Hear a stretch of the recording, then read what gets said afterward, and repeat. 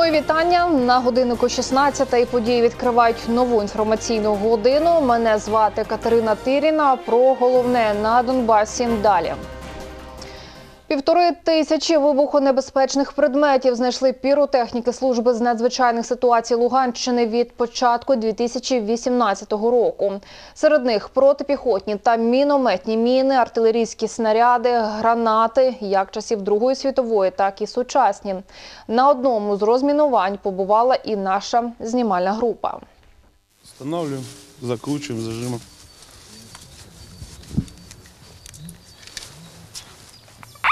Готов к роботі. Сапери збирають металошукачі та обстежують ділянку лісу. Місце роботи огородили стрічкою, працюють у захисній амуніції. При обследовании территории на наличие ВНП сапер должен находиться в индивидуальных средствах защиты.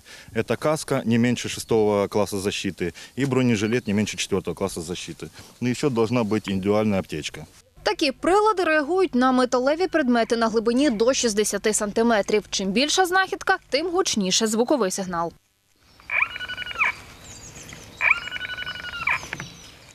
Почувши сигнал, сапер розчищає місце, над яким спрацював металошукач та починає копати. Натрапивши на небезпечний предмет, кличе старшого групи. Той дістає знахідку. Це граната. Поруч у землі знаходять ще дві мінометні міни. Усе часів Другої світової.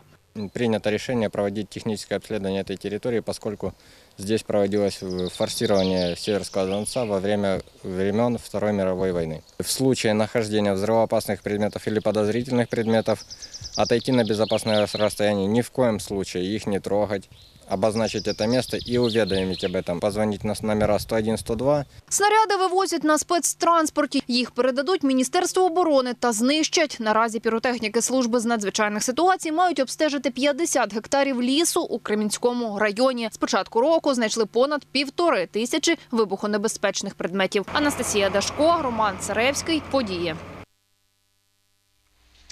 Наповнити свої великодні кошики дешевшими продуктами у чистий четвер змогли жителі Сватового. Сьогодні тут відбувся традиційний ярмарок. Понад 10 торговельних точок підприємства з трьох районів Луганщини розгорнули на центральній площі. На ярмарку побували і наші кореспонденти. А вот гляньте, там нормально? Нормально. Ага, все. З сьомої ранку ярмарок у Сватовому у розпалі. Біля деяких торговельних точок черги. На весь асортимент товарів ціни нижче ринкових. Привезли сільхозпродукцію, привезли молочко і м'ясо.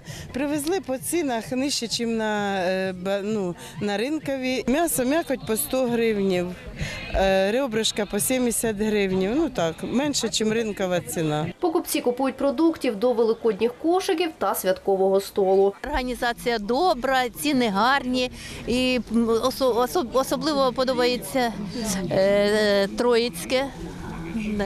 Наші теж гарні попривозили продукти. На ярмарку можна придбати м'ясомолочні продукти і паски з цукерками, також вироби на основі меду. Свечи из вощины с надписью «Христос воскрес», э, корзинки «Христос воскрес». А самое оригинальное – это, конечно, косметика из меда. Майстри декоративно-прикладного мистецтва теж на ярмарку. Їх вироби, кажуть, сьогодні не лише прикраса, а й товар на продаж. Домовички і мої сумки, і вишиванки.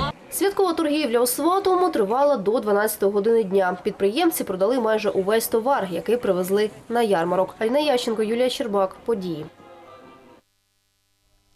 У Слов'янську нацгвардійці-контрактники харчуються у військовій частині не за власні гроші. Від 14 березня поточного року за постановою Кабміну військовослужбовці, які несуть службу за контрактом у Збройних силах України та інших військових формуваннях, мають право на обід за рахунок держави.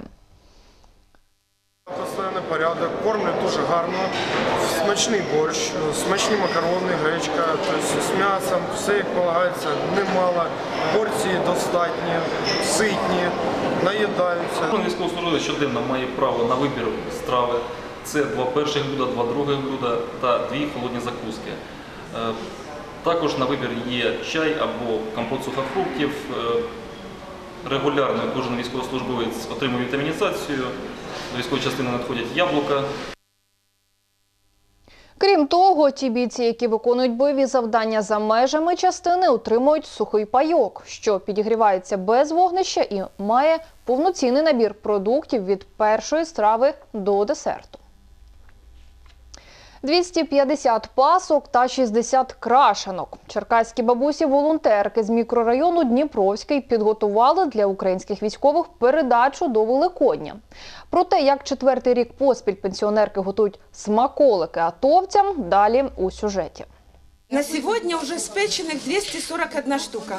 Тісто для великоднього хліба готує пані Марина Олексійчук. Розповідає, спочатку заварює пару для тіста, яка тривалий час вистоюється, щоб після випікання пасха була легкою та запашною, і розкриває нам складники. Молоко, цукор, э, масло, олія, зи- э, изюм,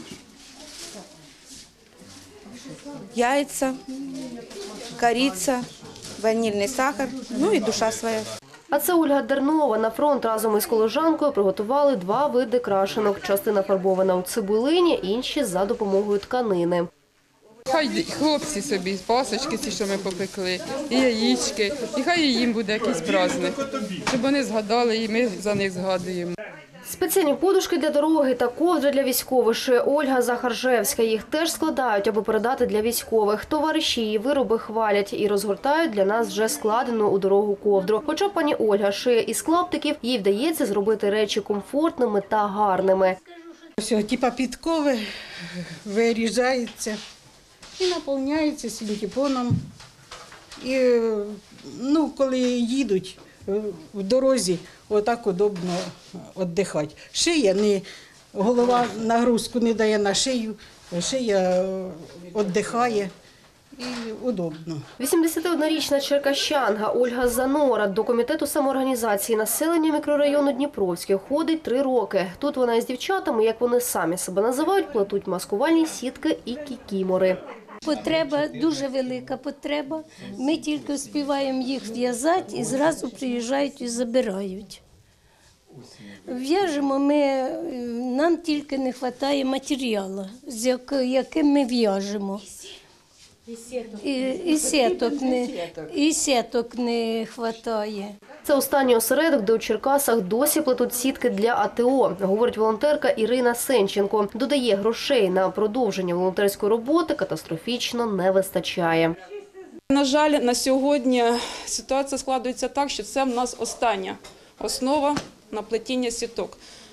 Залишилось на кожному філіалі по одній сітці. Нема коштів, нема допомоги, нема з чого в'язати. Зверталися до людей, пишемо в Фейсбуці, але, на жаль, ніяких відгуків немає. Найбільша потреба у часнику, лимонах, тканині для сіток та старому одязі, розповідає голова комітету Любов Здоровенко. Каже, пенсіонерка готові працювати із будь-якими матеріалами без відходів і запевняє. Наша волонтерська робота не зупиниться, тому що я говорю, що ми шиємо одіяла, шиємо подушечки. Ну багато ми що робимо, в'яжемо носки. Все це ми робимо із старого, з відходів. Аліна Ященко, Ірина Філенко, Максим Шевченко. Події. В Авдіївці відбувся фестиваль українського кіно. Впродовж чотирьох днів в актовій залі місцевої школи показували сучасні українські мультфільми та кінострічки. Це сторожова застава, перший український 3D-мультфільм Микита Коджум'яка, тіні незабутих предків та інші. Серед глядачів переважно діти.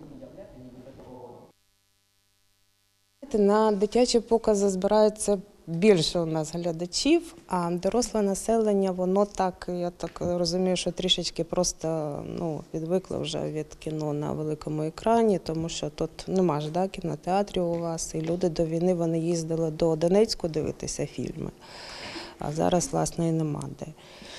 І просто ну, приходять ті, хто скучив саме за показами на великому екрані. Фільм Червоний, що вийшов на екрани влітку 2017-го, також був представлений на фестивалі. Один з головних героїв Олег Шульга, який грав радянського льотчика, приїхав до Авдіївки на показ.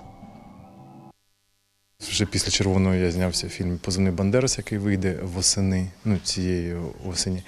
І зараз готуюсь до міжнародного проєкту, так само спільно копродукція України і багатьох інших країн. І так само мені пощастило, що це буде український герой, український спортсмен Віктор Коваленко. Фестиваль в Авдіївці відбувся за підтримки Держкіно. Загалом 56 медалей різного гатунку привезли з чемпіонату України з Годзюрю карате вихованці Сватівської дю США. За кількістю нагород спортсмени, які представляли Луганщину, посіли друге загальнокомандне місце серед 18 регіонів. У Сватовому чемпіонам влаштували захід із солодощами та побажали нових перемог. Із юними каратистами знайомилися наші кореспонденти. Владислав Пархоменко з цьогорічного чемпіонату України привіз три медалі, всі золоті. Мені от іменно років вісім, а займаюся я е, три роки. А що подобається найбільше в карате?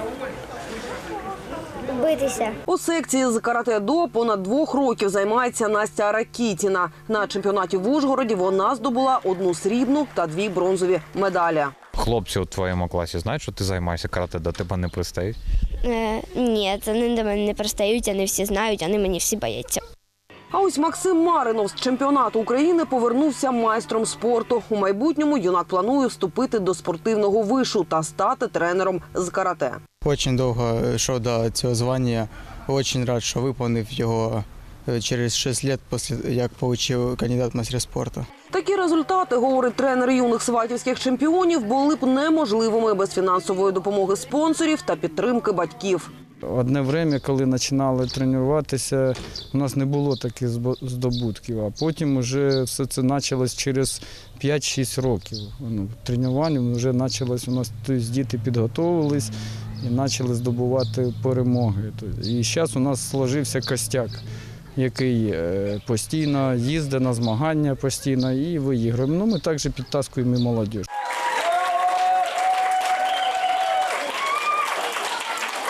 Попереду у сватівських каратистів нові турніри. Зокрема, вони вже готуються до Кубку світу, який пройде в Одесі у липні, та осіннього чемпіонату в Європи в Португалії. Юлія Щербак. Подія. І наразі це все. Більше інформації дізнаєтеся у наших наступних випусках подій або на нашій сторінці у Фейсбук. А поділитися новинами з нашими журналістами ви можете за номером, що зараз на екрані. Бажаю вам якнайбільше гарних новин і до зустрічі о 17-й.